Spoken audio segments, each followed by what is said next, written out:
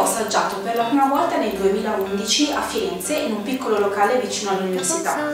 In quell'occasione, siccome rimase molto colpita da questa torta, chiesi la ricetta alla proprietaria del locale, la quale però mi disse guarda te la posso anche dare, però tanto non ti verrà mai buona come la mia.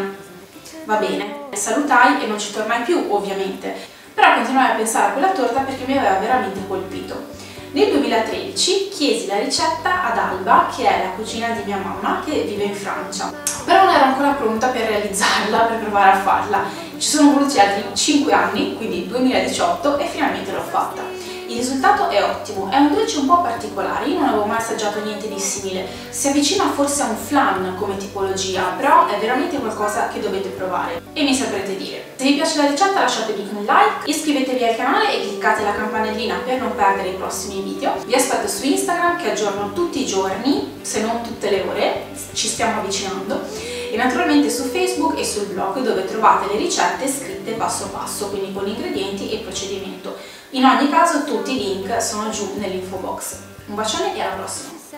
Per prima cosa fatti un tè, o meglio fallo alle prugne. Quindi prepara un bel tè nero, un bel tè Air Grey, quindi al bergamotto, aggiungi il rum e infine le prugne. Lasciala a bagno almeno due ore, ma più tempo rimangono a bagno in questa infusione meglio è. Estrai i semi dalla bacca della vaniglia, metti il latte in un pentolino, aggiungi i semi della vaniglia e la sua bacca, porta a bollore e poi spegni e lascia freddare. In un'ampia ciotola metti lo zucchero insieme alle uova e sbattile con le fruste e un pizzico di sale fino a farne una bella schiuma. Unisci la farina setacciata e continua a sbattere per non avere grumi, ma come vedi è meglio utilizzare una ciotola dai bordi piuttosto alti.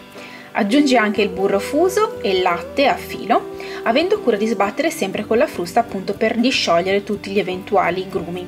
Imburra molto bene una teglia di ceramica oppure di vetro e cospargila con dello zucchero semolato. Distribuisci le brugne ben scolate sulla base e poi versaci sopra il composto che sarà molto molto liquido.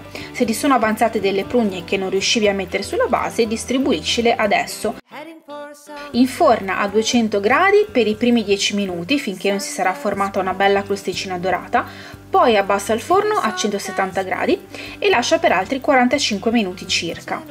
La torta va servita tiepida, tagliata a quadrotti e cosparsa con un po' di zucchero a velo.